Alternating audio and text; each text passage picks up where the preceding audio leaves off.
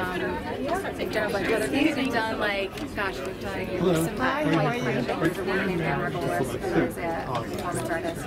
Um, I highly recommend you join her. Um, and there are a couple other ones. And, Yeah, but it's been a really great collaborative process. And he's so prolific. and so you turn, not possible? And speaking of his talent, we incorporated 120 pages into 12 days of shooting. Please tell me